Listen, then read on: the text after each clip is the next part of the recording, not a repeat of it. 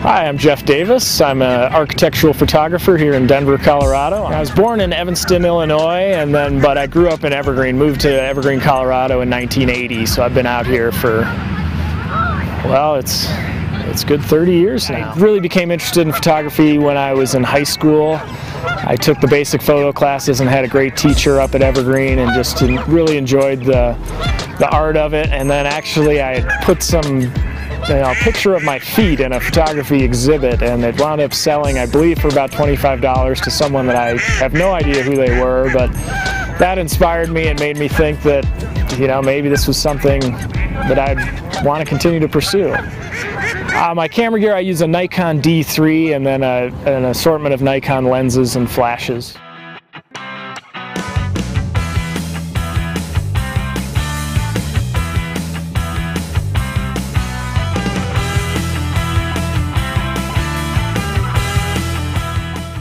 Here at a classic Denver Square home near Cheesman Park, getting ready to shoot a gold tour. This is my sixth property of the day. We're sitting here at about 2 o'clock, so it's been a, yeah, a full average busy day for me, running around the city, and uh, most days I'll shoot probably 1,000 to 1,500 pictures in a day.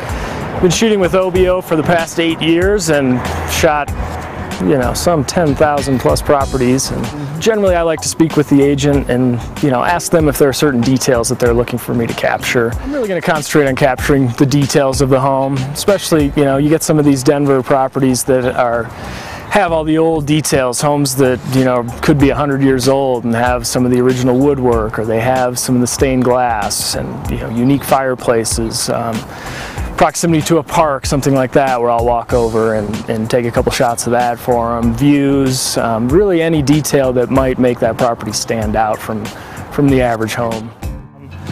Typically I like to get a little further back and zoom in on the house so it doesn't look like uh, a weird angle as I'm looking up at the house or anything like that. So see what I can get without getting run over. It's always a good thing too. And I'm always going to do, a lot of people that have worked with me before, they'll see me shoot and realize that I'm going to take, you know, three to five shots of every scene, kind of bracket up the exposures, make sure I've got something within the parameters of what's going to work well. You know, you run into things like this where you have a huge apartment building up behind the house and uh, so yeah, again, just trying to shoot to, uh, you know, capture as much of the character of the property as I can. The last thing I want to do is have to come back out to a property because I missed one angle or something like that. So, you know, digital film is cheap. I can always delete, but I, it's hard to create a picture that I haven't shot. Now, I always shoot everything in full manual. Um, you know, right now I'm at, that shot was a 60th of 5.6 was my last shot. Used a little flash to fill it in here to brighten it up. You know, these front porches are always a little bit dark. Human beings, our eyes can adjust and, and we can capture a, a very wide dynamic range, but a camera can't capture near what the you know what the human eye can see. So that's uh, that's always the challenge, bringing up the light, you know, getting everything to look balanced. Geez, between cameras and lenses and lighting gear, I've got fifteen to twenty thousand dollars. You know, this this setup itself is uh, Eh, you're looking at about seven or so, just in this, you know. Seven grand? Seven grand in camera, lens, and flash. Got another wide angle uh, lens in there and, you know, backup flash, things like that. So, you know, I'm out here to, to make good photos and please the customers, but I don't necessarily need all the accolades from every little, every little thing like, you know, going the extra mile for the clients. Switch lenses over to my wide angle since we're moving to the indoors. So as I come into a property like this, I'm gonna go ahead and get on all the lights. You know, we wanna have as much ambiance as we can to make the house look as best as possible. You know, moving, doing little things like moving that lampshade so we don't see the seam and kind of adjusting so that we have all our shades at an even level you know, a lot of these fine detail things that are end up being very important. Well, you know, I know that I'm going to have enough. I've got white ceilings here. I know that I'm going to be able to fill the light in. I, ideally, if I can get them on, great. If I can't, then you know, you just got to do the best you can with with the situation. So okay. this is a situation where I know I can get it plenty bright. I want to show this you know, wonderful staircase here. Again, another feature that you're just not going to see in your average Denver home.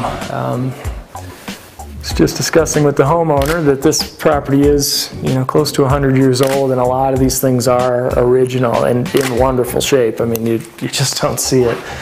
Which is, you know, part of what makes the job fun and it, it keeps life interesting too to, uh, you know, see some of this history. 10 shots is enough to give me some overlap. Ideally, I never go through a click stop and miss one, but still get it to stitch together. Well, usually I do a lot of panoramas in a row. In this situation, kind of shot this panorama because I knew that the family needed to, to get back to using the kitchen and, and we had to move a few things out of here. So that way, now they can have the kitchen back. We'll move on to going back to uh, shooting more stills and pick up the panoramas again later on. Now finishing up the panoramics out here, we're just going to do a 180 out front here. Um, decided that just because, you know, we're up here, there's a school across the street, there's a lot of cars on the street, yet we still want to get a sense of the property and where it sits, but sometimes you can do that without showing every little piece of everything, so, because we're here to mostly attract people to come out to the property. If there's something that might deter them from coming out and doing that, then we don't want to show that, so. All right, on to the next shoot.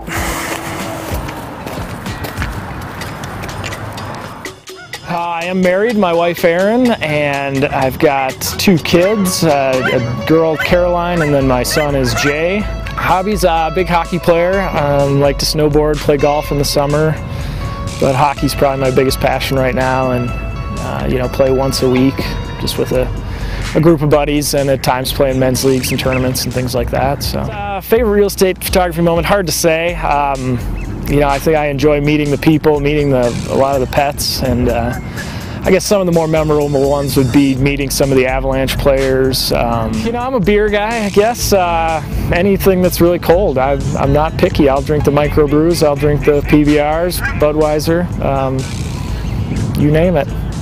So that's it for the Secret Life of Jeff Davis. I'll look forward to meeting you on an upcoming photo shoot.